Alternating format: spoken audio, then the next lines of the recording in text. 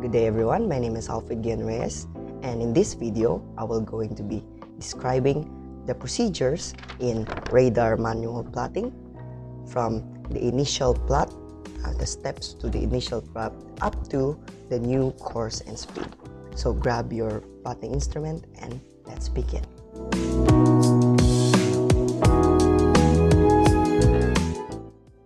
So we now have our radar transfer plotting sheet. So to go on this procedure, let's have our sample scenario right here.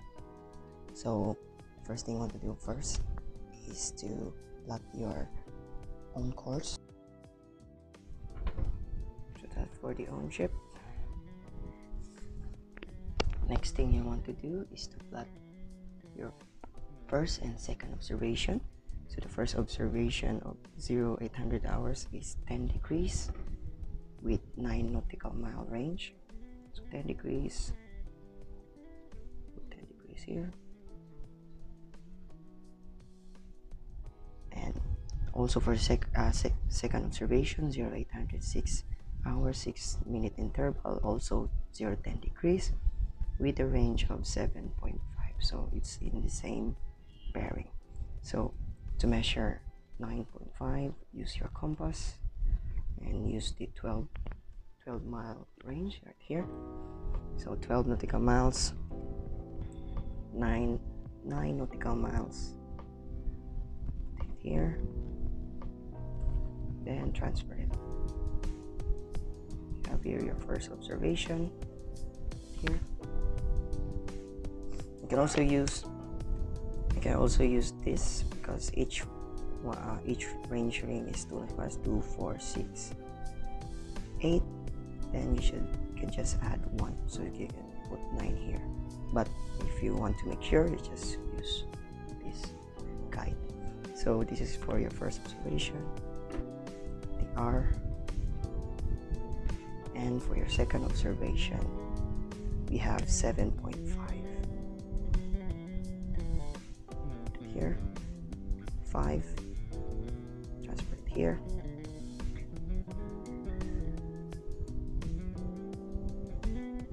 that's for your second observation M. so that for the first observation R second observation M. next thing you want to do is to draw the relative motion line so the line that corresponds to each one so it's just the same here so this is your RML relative motion so next thing to do is uh, get also the direction relative motion just uh, crosses to the PPI the relative motion lines. Just continue on this. So that is for your DRM so next thing you want to do is to get the speed relative motion. So uh, to get it is distance from r to m to m put it here so you get what 1.5 nautical miles. So the formula is distance from r to m to r to m times 60 with time interval of 6 so you get 15 knots. So SRM 15 knots. And next thing you want to do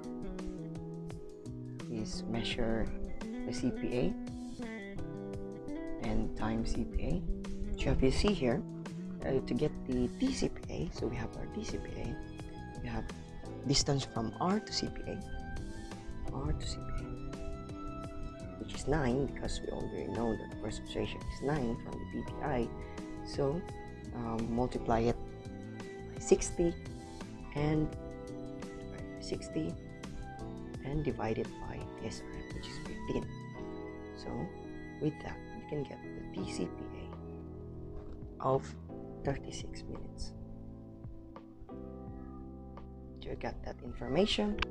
Now the next thing you want to do is to now have our vector triangle. So the vector triangle is uh, the one you use to determine the direction in which the ship is going and also the speed. So to do that uh, you just transfer your own ship course to the R, first observation.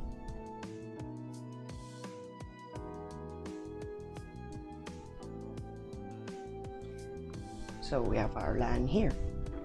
So to determine uh, to determine the E, uh, we just use our ship's speed. So to do that, to get the E, our ship speed is 20, 20 knots. So that transfers to 2 nautical miles because uh, a reversal of the formula, 2 nautical miles. Here, 2 nautical miles. Transfer it to the R. Then we have here. Then we get RE. So this is RE. So next thing we're going to do is to connect E to M so that we'll know the direction of the target. So that's direction of, of the target. Now the next thing you want to do is get the target true course. So this target true course and the target true speed. So to get that, just simply get this M to E, E to M, then transfer it to the PPI, then you get your target true course.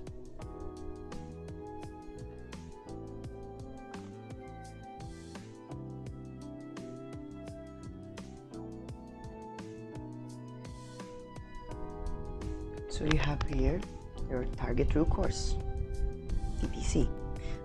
While for the target true speed, just use your compass. Just measure from E to M. Here E to M. Put it in in your range uh, range settings, distance scales. Just put it here. So you have 1.8.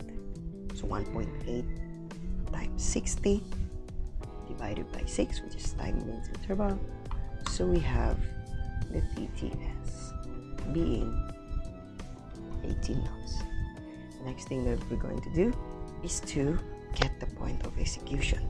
So as you can see um, from the first uh, from the scenario given that our target will maneuver to 4 nautical miles in accordance with COLREGs to have a new CPA of 2 nautical miles on the port side. So uh, the mx or the point of execution can vary uh, can get it in many, ways. But in this scenario uh, we'll maneuver our target to 4 nautical miles in accordance with the regs so already a given value. So uh, to do this to get the mx um, as you can see in the scenario our target will maneuver 4 nautical miles. So we need to do is get 4 nautical miles. So as you can see already that the range scale is 2 another one is 2 so we have 4 nautical miles here. Just follow on your relative motion line until you get your mx here. So 2 so 4 nautical miles as prescribed by the scenario you have your mx here. That's your mx while you have a new cpa of 2 nautical miles on the port side so left side port side. So to get uh, the new um, thing we're going to do is to get the new RML so we have 200 miles here. You just make a line tangent in order to get a new RML so we have 400 miles in MX a new tangent line 2 nautical miles as the scenario has given in the port side just make a line here like that and that will be your new RML. so why did we get our, our new RML? In order to get our uh, be closer to getting our new avoidance course and avoidance speed. So the thing you want to do, you have a uh, new RML.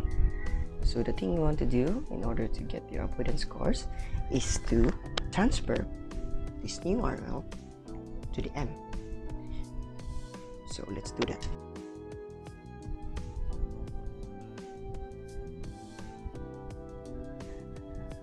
So you have your new RML here so the thing you want to do is to get the new course we need to make an arc from E to R to have an intersection in this new relative motion line. So get your compass from E to R, E to new observation. Just make an arc.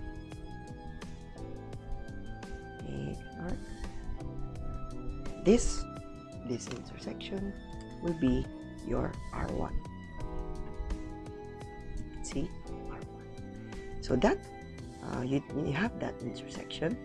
See? You have your intersection point, so we R1. Next you want to do to get the new course, you just make a line from E to R1. So as you can see here, E to R1, make a line here from E to R1. So are we done? Not yet. So we have E to R1. The next thing to do to get the avoidance course is to transfer the E to R1 to the PPI in order to get our new avoidance course. So as you can see here, bam, from here to the PPI, you will get your new course.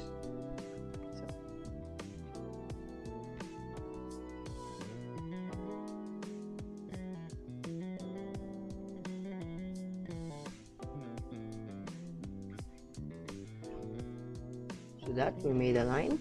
So that will be your new course or the course. So that's for the avoidance course. So you have your avoidance course 359 degrees. Next, um, when getting the avoidance speed, all you need to do is do this procedure again, like this one, but do not go into the process of making an arc. Just simply having this intersection, you have this. This will be your R1 if you're getting the avoidance speed. So that will be your R1. So to get the avoidance speed, you just has have this intersection. Just measure from E to R1. So E to R1. Put it in your scale.